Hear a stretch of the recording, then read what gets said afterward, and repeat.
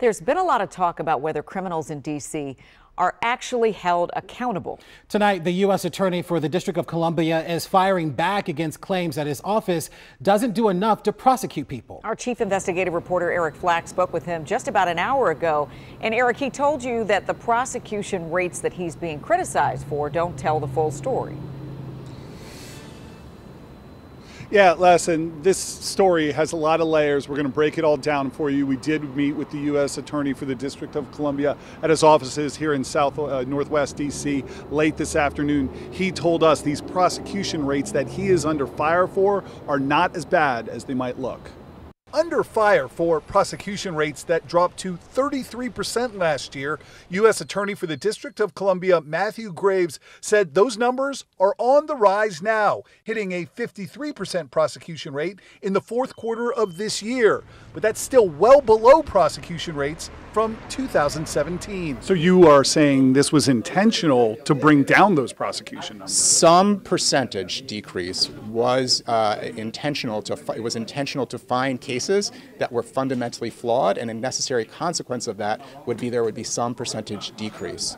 Some of the decrease that we saw in fiscal years 21 and fiscal years 22 was very much not intentional. Graves blamed the impact of DC's Department of Forensic Science losing its accreditation, making making it incredibly hard to test evidence his prosecutors need for trial. Graves said his office has now found stopgap measures to increase evidence testing. DC is a crime problem. You say your office is not the problem. What is the problem? We must do everything we can to vigorously prosecute crime, particularly the violent crime that is currently plaguing our community, and we are doing that. Prosecution, though, is necessary but not sufficient. As for the reasons his office don't prosecute crimes, it's most often because witnesses don't want to cooperate, followed by a lack of evidence, or the defendant having a reasonable justification like self defense.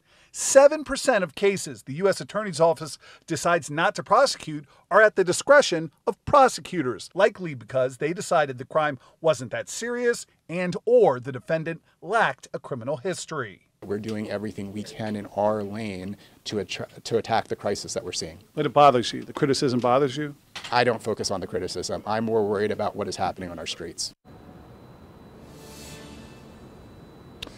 We also asked Graves about that epidemic of underage crime going on in D.C. right now. He says prosecutors have a tough choice about whether or not to charge a juvenile as an adult. Was this a pattern of repeated dangerous behavior, or was it just a bad decision by a teenager? But he didn't have any data for us to kind of analyze how they break down those very difficult decisions. More to come as this story develops. Live in Northwest tonight, Eric Flack, WUSA 9. Back to you. All right, Eric, thank you for the information. We appreciate it.